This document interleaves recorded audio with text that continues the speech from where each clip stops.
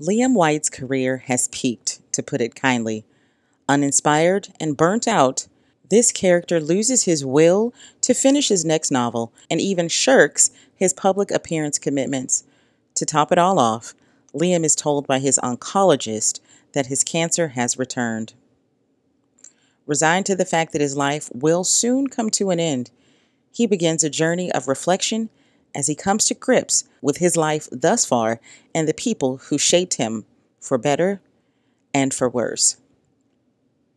The Forgettable Life of Liam White stars Shaun Woodland, Jasmine Guy, and T.C. Carson, faces that we all know that are familiar to us, especially if you're a child of the 90s. Written and directed by Harold Jackson III, this film is definitely one worth watching. I sat down with Harold Jackson III and Shaun Woodland this week to get the background story on Liam White, how the film came to be, and what it was like to portray a character whose life was coming to an end. I need to know, first of all, how in the world did you come up with this subject matter? Because it's really intense. Is it from a personal place or uh, did you just, you know, kind of come up with this on your own?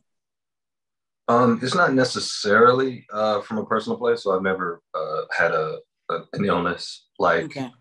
uh, Liam, like the character did, right? Or, um, but it's it's it's it's it is from kind of a personal place because because the film is more about uh, transitioning to a different phase of life than right. it is about uh, a guy with the illness, and it's about right. accepting, you know, what can come with you and what can't. And sort of embracing who you're going to be, right? And I think that's a that sort of message is important, especially in times like this. And You know, at the particular time we shot it, it was during it was during quarantine. I could tell, so, yeah. So it was really um, important that when we went into this thing, it made everybody question everything, and then coming out of it, it's like, well, who are you going to be now? You know, now that everything is turned on its ear, um, what are you going to take with you into this new phase? You know. Okay. Okay. Um, I definitely could see that happening, but it had to have taken uh, some type of a, a toll on you to come up with characters this complex, with relationships this complex. Like, is this straight out of your imagination, or did you pick little pieces of people you know and kind of string them together? Um, I think I uh it's a, it's it's kind of about my you know just stuff I made up um, stuff that I thought was interesting. Mm-hmm. Um, uh, what what would happen if a father just is just an angry person because he doesn't want to know the truth, and that's sort mm-hmm. of his defense. Like, what does that look like? Right. Um, a lot of times, you get this sort of uh, narrative about black people, black men in particular, that that you know really we were raised by our mothers and mm-hmm. fathers on that kind of thing. Um, so I did want to sort of throw that idea on his ear.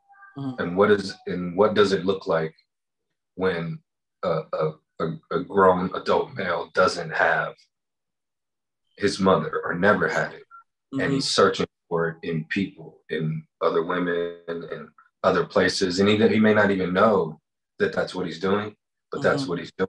If you notice in the film, all of the women that he mm-hmm. has to resemble his mother in either look or um, uh, personality, right. right. So they either have a familiar look to his mother or they have sort of a very uh, uh, confident, right, uh, independent personality, mm-hmm. right? And I think he gravitates towards those things because he's looking for something that he never got in the past. Right. I did catch that. And I did think that it was genius how you showed that the father raised not just a son, but a son and a daughter, you know, with an absent mother. Because, like you said, so many times we see families that is the mother raising the children after the father is gone, and the father is kind of emotionless and, you know, doesn't really care, for lack of a better word, about the children and how they've grown up and their well being. And in this case, we see the mother who's unapologetically uh, sure of herself and just like, it's okay that I left y'all. He's good.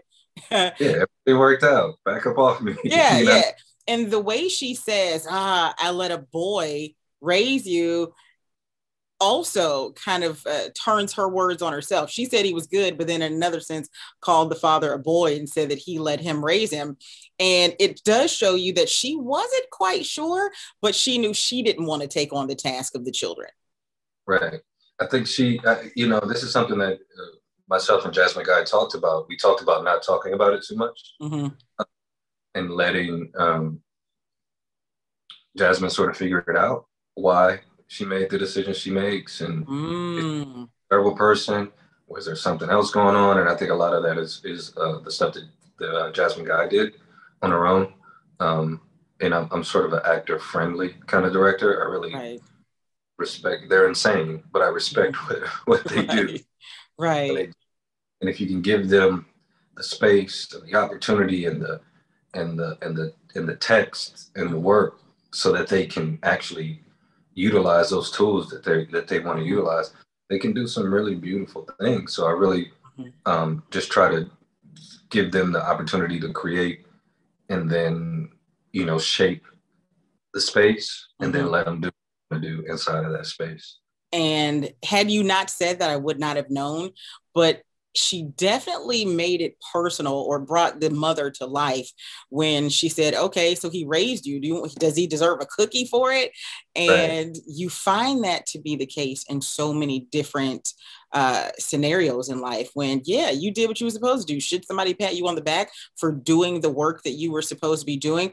And right. he said something to her that I had to write down, and I wanted to bring that to your uh, attention. He said. Right there was nowhere else I could go to get what you have when they're having that back and forth in the kitchen.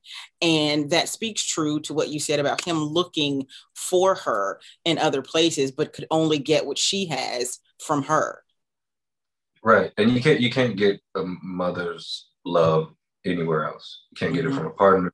You can't get it from the father. You can't get that. That is a, a thing mm-hmm. that you it's just nowhere. There's no other person that can give you that.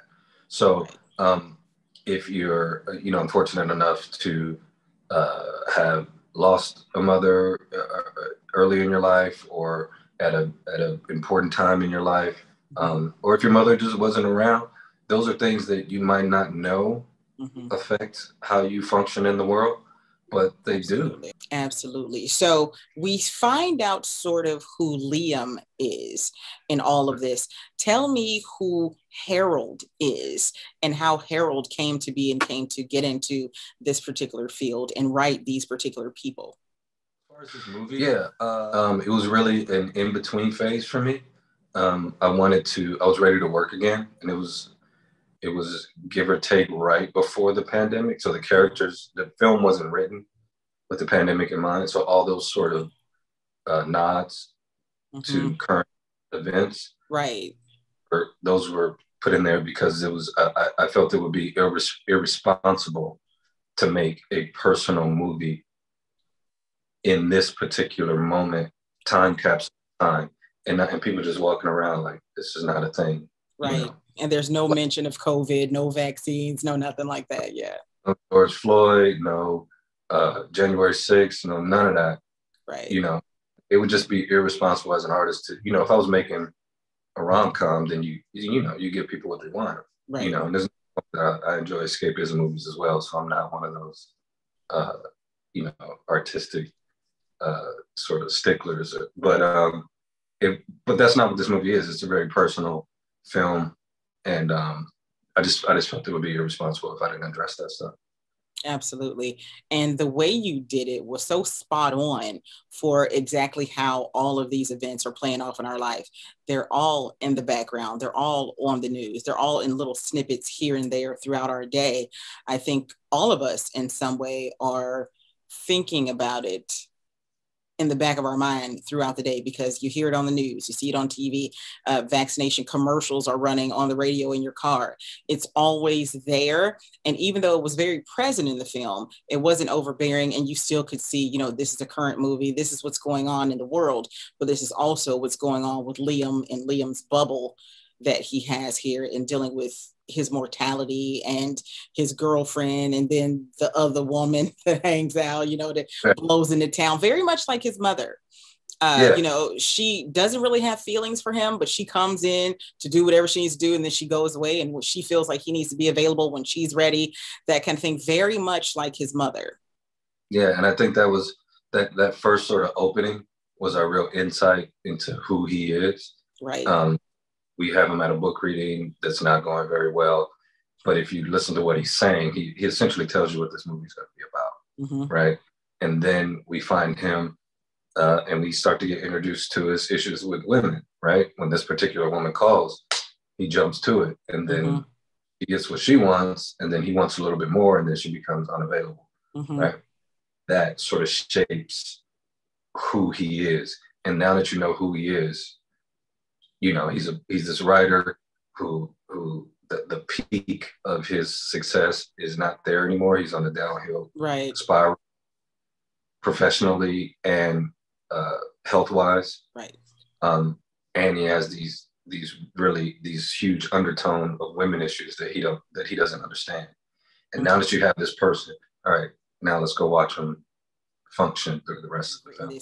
I need to ask, where is this story going from here? Like, do you have hopes of? I can see it winning some independent movie awards, but what are your hopes for this particular story? Um, it's done. Uh, uh, it's, it's, actually done really well. It was just yeah. at the um, uh, um, American Black Film Festival. I won Best Screenplay at uh, uh, Chesapeake Film Festival. Okay. It was at Martha's Vineyard. Um, so it had a really successful uh, film festival run. Film mm-hmm. festival run. Um, which I'm very proud of. I'm very happy that people are getting to see it. You're you got to see it. You know, these are you know, th- these guys did an incredible job. They deserve for people to see it. Um, and then we just signed an uh, a deal with uh, Roku. Ooh. So Roku uh, um, as a, a, a, exclusive streaming on Roku. So they'll have it for a while, and um, we're really excited about that. So the film will be released on Roku December first this year, December first, so in a couple weeks, or December first, twenty twenty one. Um, and go to Roku, see it if you can. It's it's a lovely film. It, it, sounds like a Debbie Downer, but it's not. I think it's pretty funny. I think it's mm-hmm. borderline comedy to me. Um, uh, and uh, it has a real holiday feel to it, ironically. It does. So, so definitely watch it during during the holidays. Trust me. Mm-hmm. Trust me on this one. Watch it during the holidays. It'll it'll it'll sink in a little bit more. And it'll and it'll feel more uh, alive because and then also um, we we shot it in late November. Okay. So Washington D.C. is where we shot it at. It was already in Christmas mode. Mm-hmm. Um, so we just decided to embrace it. And then Christmas is about a, a, a birthday. It's about life. It's about mm-hmm. You know life coming into the world, which is ironically what this film is about. It's more about being born than it is about dying. Right. Right. I'm seeing you where did you get your start and how long have you been acting? Um, well, I was uh, I was in college at New York University. Um, I was studying the music business, but uh, somehow my friend group became all Tisch students and actors. So I kind of started uh, messing around behind the scenes and maybe acted in a student film or two. Um, but uh, this is uh, the music business was changing around there, and there wasn't much work for me to do. So I came back to Baltimore, where The Wire was shooting and I got my first audition. Um, and I booked a drug dealer number two on the wire. That was my first time uh, audition. This was about like maybe 04, 05. So that was my know first. What? I have seen you in the wire. Yeah, listen, the wire is real big in my family. We don't do any street activity, but honey, we love to watch it. Oh, okay. my sister Great. still watches reruns of The Wire to this day. And I'm like, you know, now it does make sense because I didn't think I had seen you, but since you were, you know, a supporting role, that would explain yeah, why I really look very different. I had braids, right? Hair, oh, yeah. Right, right. But you can't change your eyes though. So that so you started off on the wire, and how mm-hmm. did you end up as Liam? Well, um, you know, I was kind of green back then. So I, since then, I've just been trying to figure out how to navigate a career. You know, you know, studying, taking classes, and trying to network. Um, but long story short, um, Harold, the writer director of Liam White, he had met a friend of mine who I was in a theater group with at a film festival. They were both uh, making the rounds, and my friend Thaddeus had give had given Harold my information, and uh, I read for a film that he was prepping to do, like uh, the role of a marine or something. But I think he had to mm-hmm. end up scrapping it. So uh, I didn't hear anything back. Um, and then a few months later, he just called me out of the blue uh, for the script called The Meek that he had written, and uh, he wanted me to play the lead role in that. And for me, that was that was that was all I was asking for because at that point I was just you know auditioning for mainly like co-star stuff. It wasn't any lead roles or anything where I could really stretch my legs, so to speak. So it was an ideal opportunity. So we did the Meek and then uh, followed that up with uh, Unarmed Man, and uh, he hit me up again during the pandemic and uh, said he written Liam White and asked me what I thought about it, and I love the script and uh, somehow we got it done. Listen, and you did a very good job at it. Um, I do want to ask, how was it doing? Uh, you know, some suggestive adult scenes on on in this movie. Uh, it was like uh, we don't see anything, but it's very suggestive. Yeah, it was. Uh, it was very. You know, we kept it uh professional. Harold, uh, you know, he works well with the angles so that everybody feels comfortable and uh, and you know clears the room so the environment you know is is safe. I just wanted to make sure that the women were were comfortable like you know, I, that, that's not my uh, first time being intimate on screen. It may be like a, a, web series way back in the day that you'll okay. never find but so I had, I had a little bit of experience with uh, on-screen intimacy but no it was fine. It was a good it was a good experience. Okay good. So i want to know because this is such a he was such a complex character liam is. Mm. i want to know how did you prepare yourself to play somebody who is sort of at the end stage of his life, but at the dawning of new realizations about himself? That's a great question. Um, well, first of all, I got the script. Uh, it was during the pandemic, and there was nothing being shot, and I was, I was, I was not having an existential crisis, but like, where, what's going to happen? Am I ever going to act again or work again? So I was in a weird space at that time, and um, upon reading it, you know, I think we normally as human beings, when we're faced with that stuff, if we don't have a disease or illness that's that's terminal, we kind of just push it off until mm-hmm. it's we're forced with it. So with Liam, when the diagnosis, I was kind of forced to wrestle with it because I've, you know, I have had family members who, you know, fall into cancer and mm-hmm. dealt with the situation, but to internalize it and make it myself was uh, probably the most uh the difficult aspect of it. So it was a it was a lot to wrestle with, you know, thoughts that you normally would would put off until you are forced to. Um, but um, so yeah, that was uh I just kept reading. I just read the script over and over again, and just kind of, kind of let uh, Liam's thoughts run through my head, and kind of understand what that would feel like, you know, and uh, I went from there.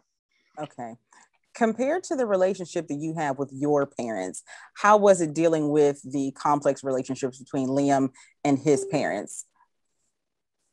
Yeah, it was uh it was difficult because I both of my parents are really are loving are loving people and uh and they've always given me kind of like what I wanted in, uh, in that regard. But um, I, would say just working with TC and uh, Jasmine, they were they were so gracious and they're such pros to kind of um, and, and we didn't get to rehearse in person like we had zoom rehearsals so it was okay. kind of we just kind of got the tone and structure but on the day we we realized so much more and uh, kind of uh kind of built built that rapport and refined it i'd say on the day um, but um yeah they were they were tough parents i'm glad my parents aren't like that no, Lord right. knows how it would have turned out right so when you shot with tc was all that done in one day yeah, actually, both TC and Jasmine was a uh, consecutive days. We had got all okay. those scenes out of the way, so it was basically me and him sitting on the couch. You know, it was some heavy subject matter, but in between scenes, we were laughing mm-hmm. and had a great rapport,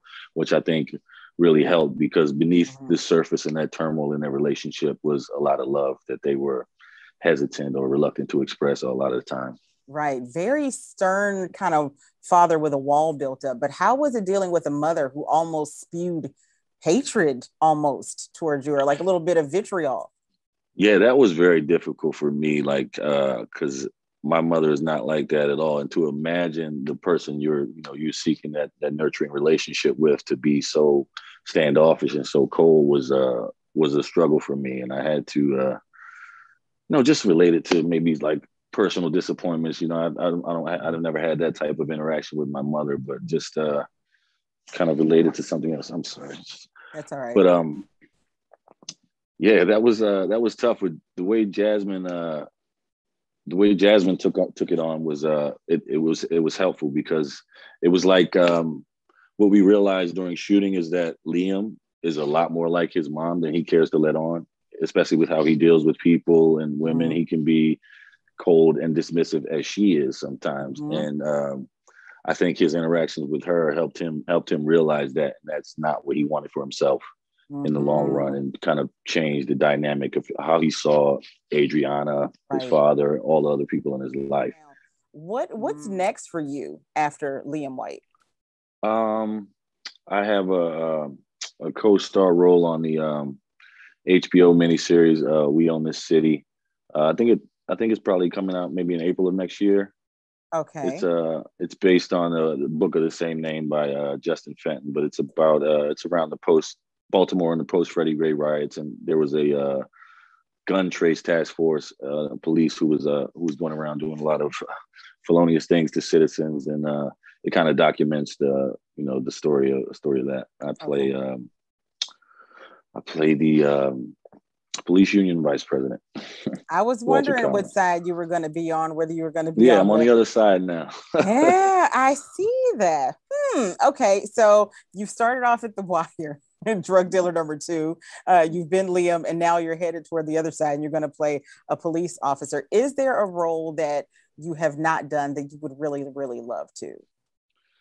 Um, honestly, I've grown up. I've always loved action comedies. I haven't had much opportunity to, to uh, audition for comedies. I maybe done uh, maybe one comedic film, uh, Big Time Adolescence, um, on Hulu, and uh, but I love the opportunity to do more stuff like that in okay. the future because uh, I feel like that's where I would be most comfortable as an actor. You know, I love. Don't get me wrong, I love the dramatic stuff, but I, I really do love comedy. I've always loved comedy. Okay, so this is one of your we could call it earlier films because you're going to go on to make more. Starting off working with TC and Jasmine Guy, how in the world, like who else do you hope to work with, seeing as how these two are what some people would consider the apex for them? Wow, that's a that's a great question. I, um, obviously, I mean, I, I heard everybody say this answer. Denzel. I took some some background work a few months ago just because he it was a film he was directing in DC. I just wanted to be in the same space right. as as him. Um, but I love Jamie Foxx. Like I said, I love comedy. I'd love to work with Jamie Foxx. Um, DiCaprio is another one of my favorites. Um, so the, the, those type of folks. Uh, um, I'm sure I could rail off a few more names, but uh, those are the three that popped up my mind. Great, great job filming this movie, and I just want to thank you again for your work in it and uh, applaud you on the awards that are to come. Oh wow! Thank you so yeah, much, LoVetta. I appreciate definitely. it. The Forgettable Life of Liam White will air on Roku on December first.